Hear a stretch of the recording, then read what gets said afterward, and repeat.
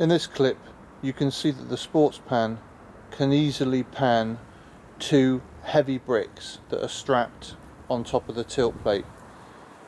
This can show that the SportsPan will rotate even the biggest of broadcast video cameras.